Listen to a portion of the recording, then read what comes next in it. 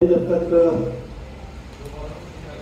हमारे बीच में जो हमारे एक्स चेयरमैन जी पाँच मिनट उनका कर मतलब प्रोग्राम को चालू रूप से चलाएँगे से आ जाओ आप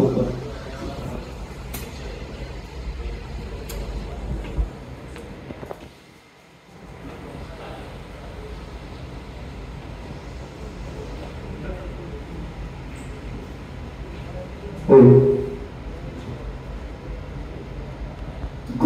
गुरु विष्णु गुरु देव महेश्वर गुरु साक्षात ब्रह्म तस्मै श्री गुरु मैं आपके लिए विशाल शर्मा सर का तहे दिल से बहुत बहुत धन्यवाद करता हूँ सर ने आज मुझे इस वर्ल्ड ब्राह्मण महासभा में अपनी बात रखने का ये सौभाग्य दिया यहाँ पर उपस्थित सभी सदस्यगण सभी अतिथिगणों को मैं सादर अभिनंदन करता हूँ प्रणाम करता हूँ मैं आपको बताना चाहूँगा, मैं एडवोकेट तेजस्वी शर्मा।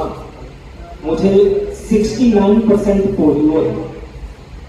और अपनी विकलांगता के बावजूद भी मैं तीन बार वर्ल्ड चैंपियन रहा हूँ योग में।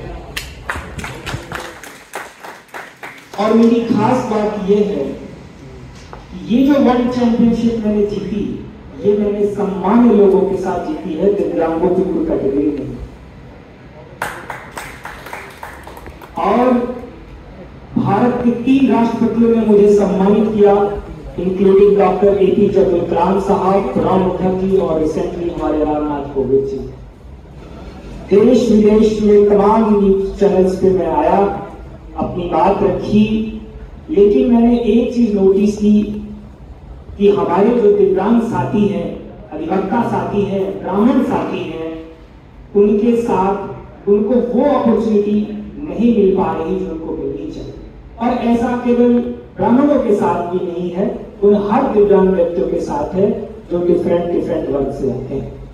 तो मेरी गुजारिश है आज आज इसकी मीटिंग के माध्यम से, कि खास करके हमारे जो ब्राह्मण अधिवक्ता साथी हैं, उनके उत्थान के लिए, उनके एजुकेशन के लिए, उनके चंबल के लिए कुछ व्यवस्था की जाए, ताकि वो भी हमसे कदम से कदम मिलाकर चल सके।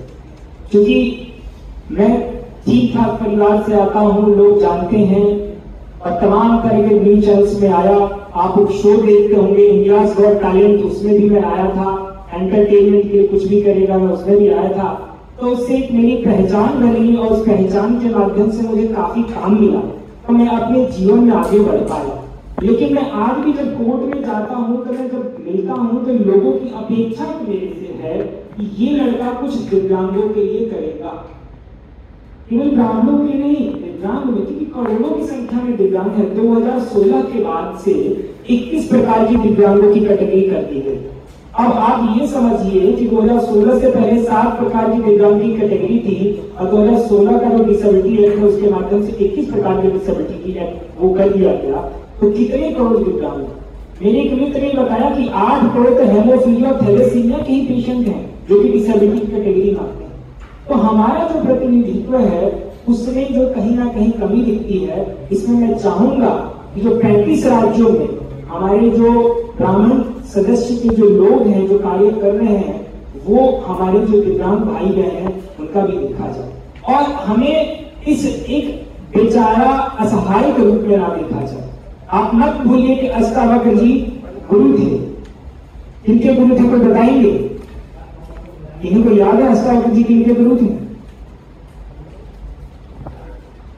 तो देखिए हमें अपनी संस्कृति को भी जानना है आठ जगहों से उनका अंक जो है गिरा था लेकिन उनकी जो बारह साल की उम्र में जो उनकी बुद्धि थी जो समाज के प्रति प्रेरणा थी वो आज भी अष्टावक्र गीता के नाम से जाना जाता है केवल श्रीमद भगवत गीता भी नहीं है अष्टावक्र गीता भी है हम उसके बारे में भी जानना है तो जो मैं ये बस दिखाना चाहता हूँ कि सनातन परंपरा में भी दिव्यांगों की कितनी बड़ी भूमिका रही है।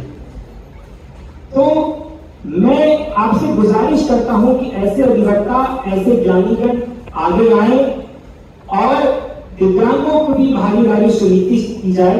और जैसा कि आज चर्चा भी होने वाला है कि आगे की रूपरेखा क्या होगी तो आने वाले 21 जून को अंतर्राष्ट्रीय योग दिवस हमारे देश के प्रधानमंत्री और देश के राष्ट्रपति भी। Including chief justice of India मैं बताना चाहूँगा, मैंने उनका इंटरव्यू देखा, उन्होंने एनडीटीवी के इंटरव्यू बताया कि 25 सालों से वो योग कर रहे हैं।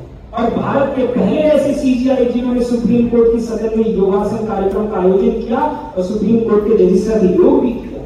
तो हमें योग के माध्यम से भी हम अपने कुछ अधिवक्ता साथी को, कुछ ब्राह्मण साथियों को जोड़ सकते हैं। और जैसा कि हमारे सर ने बताया कि ब्राह्मण केवल नाम से नहीं, जाति से नहीं, कर्म से होता है। कर्म अधिकार अस्ति माँ फलेश कदाचार कर्म जो है तो जैसा कर्म करेगा, उसी के हिसाब से उसको पद मिलेगा, प्रतिष्ठा मिलेगा, उसको सम्मान मिलेगा।